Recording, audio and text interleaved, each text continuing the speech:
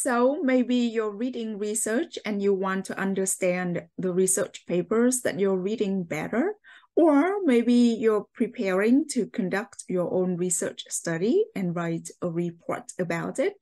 This presentation will give you a quick definition of research and explain the different parts of a research paper.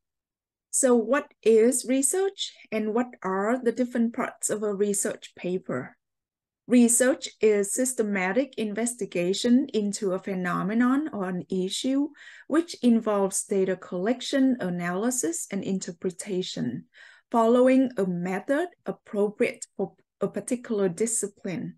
The general purpose is to establish new knowledge. And I want to emphasize the word systematic here, uh, which means following a well-planned procedure and method. So not everything that you do to learn about a particular topic is research. In this course, we are following a narrow definition of research where you collect your own data and analyze your data to answer your research question. Uh, I want to talk about the different parts of a research paper. And the first part is the introduction. And usually it is for you to introduce the topic. But before you do that, you may need to find a topic and you can ask yourself these questions. What are your general areas of interest? Why are you interested in the topic? For example, you may be interested in enjoyment and anxiety in the foreign language classroom. Then in that case, it is the topic for your research. And in the introduction, you need to introduce this topic. Another part of your research paper is called the literature review. Basically, in this part, you review um, and summarize what has been written about the topic. You can review the definitions about the concepts that you are investigating, how those concepts are measured or the measurements of those concepts, and of course, the main findings that have been published about the topic. After you do that, you can explain how your research fills a gap in the literature. So a lot has been written about the topic, then how is your research new or contributing something new to the existing knowledge?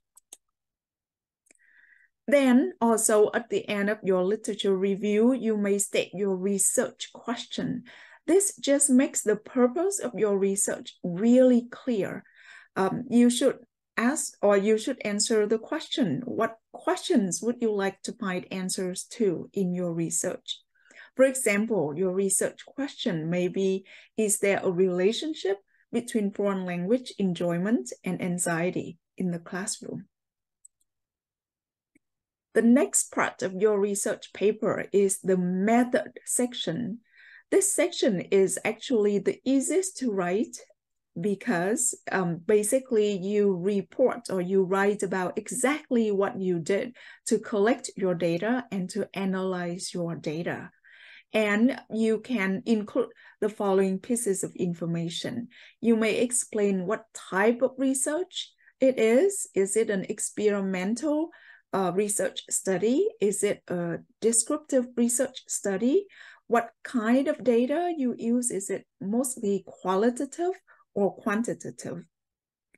In the method section, you should also explain the participants of your research. Basically, you answer the following questions. Who participates in your research? Why do you choose these participants? And what is the basic background information about them? And then you need to describe your data and data collection. It is really important to explain what instruments you use to collect the data. For example, you may say, I used a five-point Likert scale questionnaire with 21 items. I explained these terms in another video. You also need to explain how you collect the data, and then finally with the collection, what data you have. Uh, note that I'm using the present tense here in the presentation, but in your writing, you should use the past tense. You need to also explain how you analyze your data.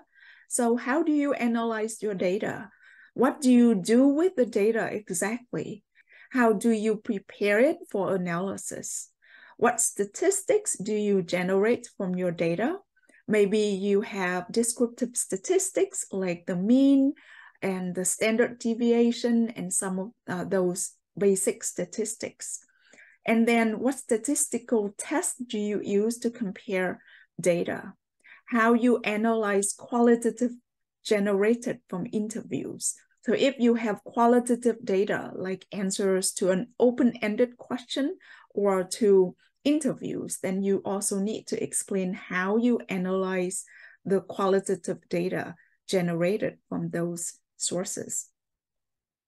Okay, and then a finding section. So uh, you have the method section and now the finding section, and you can argue that this is the most important section in your paper. Basically, you need to explain what your findings are to answer the research questions.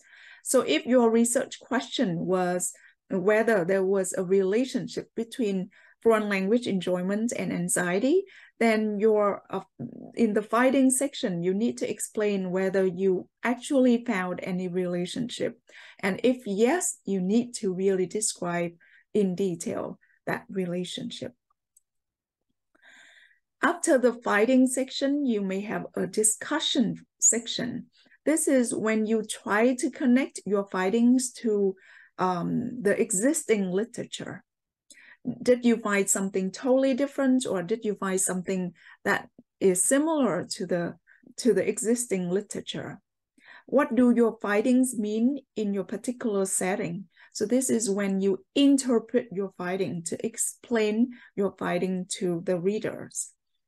What can you say about the topic you investigate that others may find useful for their context? And in this section, you can bring back the literature or the, the studies that you already review in the literature review to compare so that you can arrive at more insightful knowledge for the readers. Finally, of course, you should have uh, the conclusion. And in the conclusion, you summarize the findings.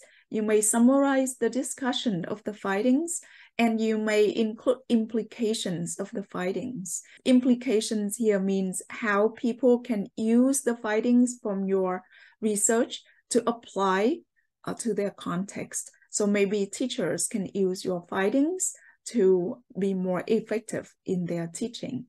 And you may also include suggestions for future research. Those are the main parts of the research paper. So let's review. You need to have an introduction, the literature review, research questions, method section, findings section, discussion section, and the conclusion. With a short paper, you may combine different parts into a, a bigger section and I will explain in more detail also.